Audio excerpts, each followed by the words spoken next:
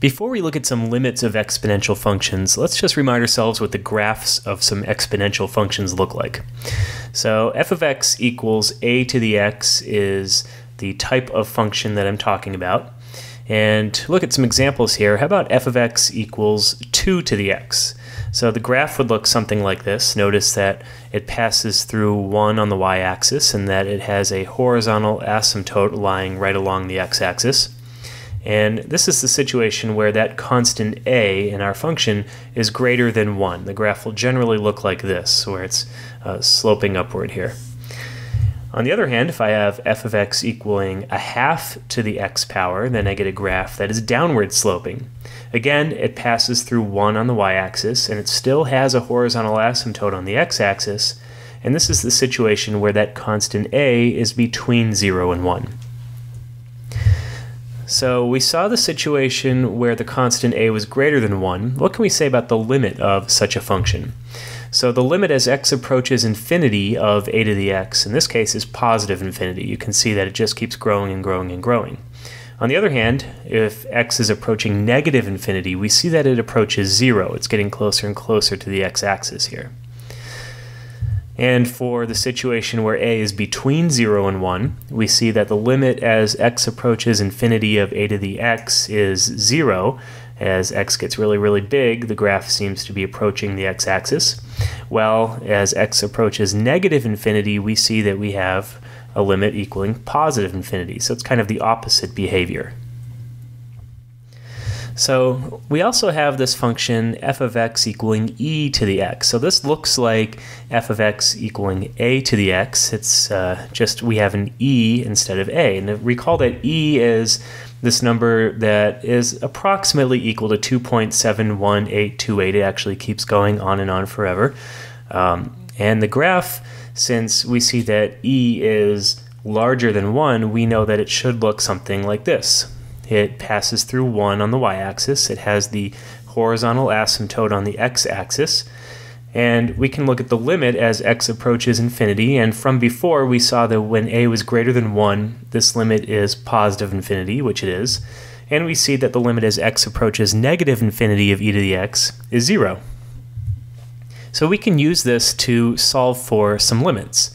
So let's look at an example. How about the limit as x approaches infinity of e to the 3x squared minus 4x plus 7 power? Okay, so in order to solve a limit like this, it helps to sort of look at what's going on in the exponent. In other words, we're going to ask, what's the limit instead of looking at the whole limit, we'll look at the limit as x approaches infinity of this thing that's in the exponent. So 3x squared minus 4x plus 7. And this thing we know is a parabola. It's a polynomial here. And it's uh, upward sloping parabola. So as x approaches infinity, we would expect that this should also approach infinity. So we have the limit now as x approaches infinity of e to this thing. So we have our original limit we were trying to solve here. Well, think about this. As this exponent here is getting bigger and bigger and bigger. We know what the graph of E looks like roughly. It's this thing that's going like this. And so we would expect that this should also be approaching infinity, and in fact it is. Let's look at another example. How about the limit as x approaches 2 from the left of e to the 1 over x minus 2 power. So again, I'm going to look at the thing that's inside of the, the e here, the exponent, and I'm going to look at the limit as x approaches 2 from the left of 1 over x minus 2. And so again, we can take a, a graphical approach here. We know that this is going to have an asymptote at 2. So I'll draw that in here. Here's an asymptote at 2. And what would this graph look like? Well, we know that it's going to do something where it kind of splits off, and the question is how is it doing that? Well, if we look at x values less than 2, we see that we end up getting something negative, so we expect that maybe it's going to go like this. And when we look at x values greater than 2, we end up getting a number that's positive, so we expect that it's going to go like that. So as we approach 2 from the left, we see that we end up getting negative infinity. Now we can look at the original limit. So the original limit was the limit as x approaches 2 from the left of e to the 1 over x minus 2. Well, this thing is going uh, to negative infinity. And remember the graph here of e to the x. And we know as we go to negative infinity, this should be approaching zero. And in fact, it is. That's the answer for that limit. Let's look at a couple more examples. How about the limit as x approaches infinity of 2 times e to the 8x minus 3 times e to the 3x plus e to the x plus 5 times e to the negative 2x minus 2 times e to the negative 6x. Okay, there's a lot going on here. If we were to look at these individual limits as x approaches infinity, we would see that this first thing here, well, that would be infinity. And the second thing, well, e to the positive 3x here, that would also be going off to infinity. e to the x, we know, goes off to infinity. Now we have e to the negative 2x. So the negative 2x is actually going to make the graph kind of go the other direction. So instead of having our graph look something like this, our graph instead is going to look something like this. And so we see now that uh, this one is going to be approaching 0, and this is going to be 0. Now, we could look at this and say, okay, well, infinity minus infinity, that kind of cancels out, and then we have infinity here, and then 0 minus 0, so this must be infinity. But remember, you can't treat infinity like a real number, so you, you can't do that. We have to try something else. Um, there's got to be another way to approach this. And there is. So what I'm going to do is I'm going to take the limit that we have, and I see that the problem is with these first three terms, the ones where we have e to the positive something here, 8x, 3x, x. Um, so what I'm going to do is I'm going to factor out, in a sense, this uh, highest power of e here, e to the 8x, to maybe kind of help get rid of these infinities that we have here.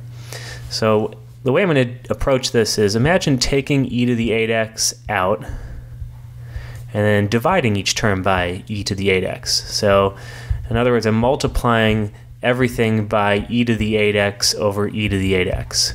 So I'm going to do this for each and every term here. And you can see this is the same thing as, as what I was uh, imagining as factoring it out. This is what we would get.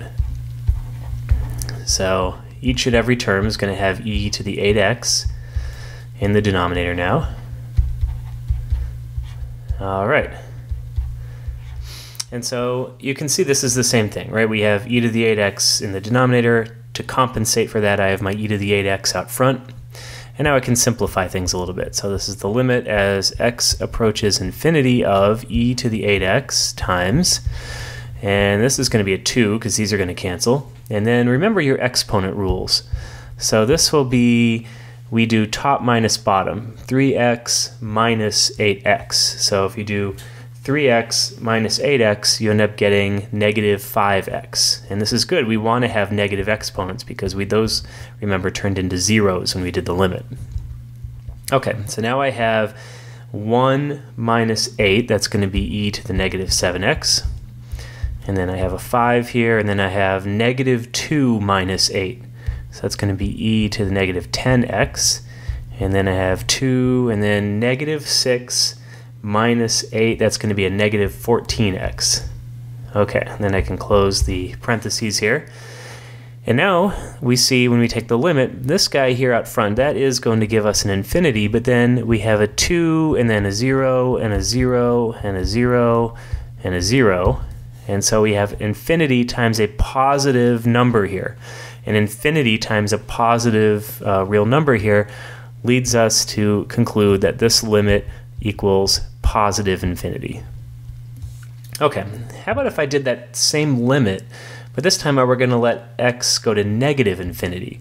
So now we kind of have the opposite problem. If I look at each of these individual terms here, I see that these guys actually go to zero in the beginning here, but then we have the problem with infinity again. As x approaches negative infinity of e to the negative 2x, remember this is this kind of graph right here, we see it goes off to infinity. So again, we get an infinity and an infinity. And if these were real numbers, we could say, oh, these would cancel out. But remember, you can't treat infinity like a real number, so we have to try something else. So I'm going to do something similar here. I'm going to take the original limit that I have, x approaching negative infinity, and factor out, this time, e to the negative 6x. And when I do that, I'm going to have to compensate an e to the negative 6x in each denominator. So I'm going to go through term by term and write it all out. e to the 3x over e to the negative 6x plus e to the x over e to the negative 6x plus 5 e to the negative 2x over e to the negative 6x. And then finally, uh, we have minus 2 e to the negative 6x over e to the negative 6x. And watch what happens now. So if I simplify this a little bit, I take the limit as x approaches negative infinity of e to the negative 6x. And this time, end up getting everything as e to some positive number, which is good because we want to uh, get rid of these infinities that we have here. So we have a 2, and then we have uh, 8x. And remember how this works with exponent rules when you divide something here. This is really 8x minus negative 6x. Uh, and that's going to be 14x. And then we'll just go through term by term. We have a 3 here. And then we have e to the 3x minus negative 6x. That's going to be 9x plus uh, 1x minus negative 6x. That's going to be e to the 7x. And then I have a 5 here. Negative 2x minus negative 6x. That's going to be 4x. And then finally, we just have a 2 because these will just cancel. All right, so now what do we have? So e to the negative 6x, that's this kind of graph here. As we go to negative infinity, that's going to be an infinity. And then all of these ones here are all going to be zeros. So I have a 0 and a 0 and a 0 and a 0, and then I'm left with negative 2. And so I have infinity times a negative constant here. That leads me to believe this limit is negative infinity. Okay, one more thing you should know about limits of exponential functions. It's possible to define e as a limit e equals the limit as x approaches infinity of 1 plus 1 over x to the x power. And if we look at a graph of 1 plus 1 over x to the x power, you see that uh, we have an open circle here when x is 0, and then we have an asymptote, and this asymptote is at the value of e. Remember, e was about 2.7 something something. And as we go off to infinity, we see that we approach this horizontal asymptote. In fact, we could also go off to negative infinity because we see the other direction also approaches that horizontal asymptote.